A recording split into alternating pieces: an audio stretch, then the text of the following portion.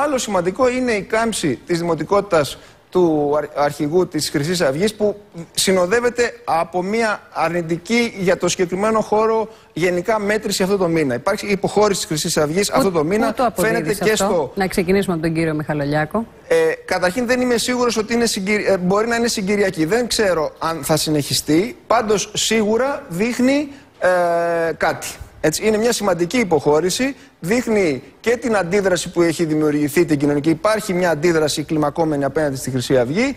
Θα δούμε όμως εάν είναι μονιμότερη ή αν είναι α- αποδειχθεί συγκυριακή. Μάλιστα, ο υπάρχει, κύριος να Τσίπρας- προσθέσω κάτι Ναι, ναι. σε αυτό. Υ- ε, ε, ε, Υπάρχει κινητικότητα σε όλους τους πολιτικούς χώρους. Για παράδειγμα, ο κ. Καρατζαφέρη, ο οποίος είχε εξαφανιστεί το προηγούμενο διάστημα, φαι, για αυτή, σε αυτή την έρευνα φαίνεται σχετικά α, μάλιστα. ναι, επανεμφανίζεται. Επομένως, δεν μπορεί να είναι σίγουρος κανείς για το τι παίζει ρόλο, αλλά ε, κρατάω το στοιχείο της σημαντικής υποχώρησης. Τον κύριο Τσίπρα τι